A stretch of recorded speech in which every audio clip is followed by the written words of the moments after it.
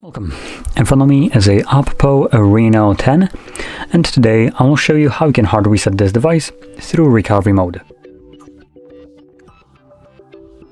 Now performing this kind of reset will allow you to get rid of a screen lock if you have one set that you just don't know.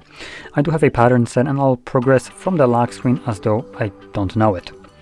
So number one, we're gonna hold our power button and volume up at the same time I'm going to swipe down to power off the device. And when the device turns off, hold your power button and volume down at the same time.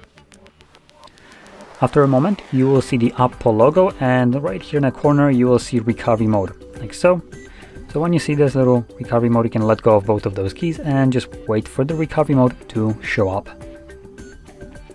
And here we're gonna select our language. Now before I do so, I'm just gonna bring the exposure on the camera so it's a little bit easier to see. There we go. Sorry for the overblown back background, but at least we can now see the text. I'm going to select English, and from there we want to tap on the Format Data. This will give you this message, Format Data, please enter verification code, which is obviously this one. So just type this code into your keypad, or whatever it shows for you. Obviously it will be different for you.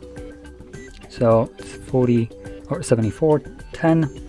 Now this is randomly generated every time just to kind of prove that point. I'm gonna go back I'm going to select it again, and as you can see, it now changed.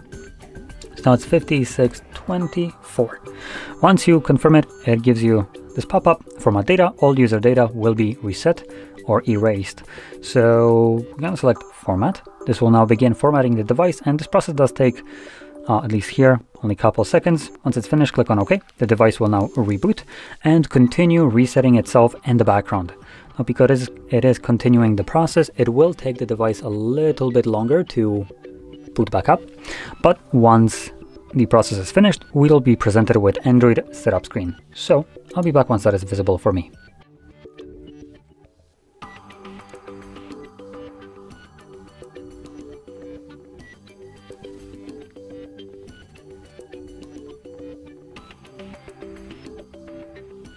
And as you can see, the process is now finished and you can set up your phone however you like. So if you found this video helpful, don't forget to hit like, subscribe, and thanks for watching.